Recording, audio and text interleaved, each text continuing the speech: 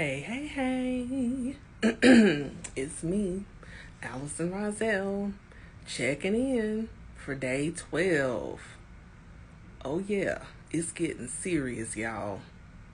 So, while I was sitting here and doing my stretches, because I, I really always try to make sure that I stretch after I work out, no matter what.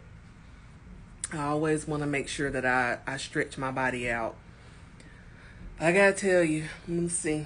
See that? See that sweat? like I am sweating, but I feel good. Um, but I I decided that I'm not gonna call this my my wellness journey anymore. Um, because as I was stretching, it started coming to me that I'm noticing that I can stretch further and I can stretch longer and hold, you know, the pose a little bit longer and it feels good in my body. And I feel like, you know, the old me because I used to work out uh quite a bit.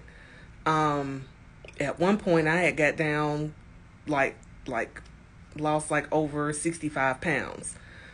Um but I feel good because it's like you know now when i'm i'm moving my body i'm noticing my joints don't hurt. My muscles do. But it what was coming to me was it's not that anything's wrong with your muscles. It's like there it's a revival for them. I'm bringing them back to life. I'm giving them use again.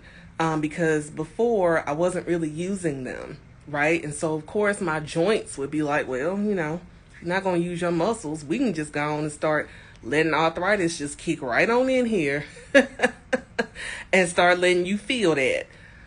But yeah, so that's that's what I feel like I want to start calling this. I don't want to call it my wellness journey or my exercise journey or whatever. I think it's going to be my revival because that's what it is. It's a revival, kind of like uh, when I used to go to church back in the day uh, when those churches would have those revivals. And um, so I feel like that's what's happening in my body right now. So, yeah, day 12 is done, baby.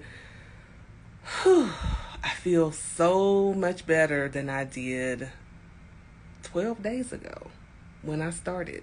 Each day is getting better. Um, and I'm challenging myself more. I can't wait for it to stop being so um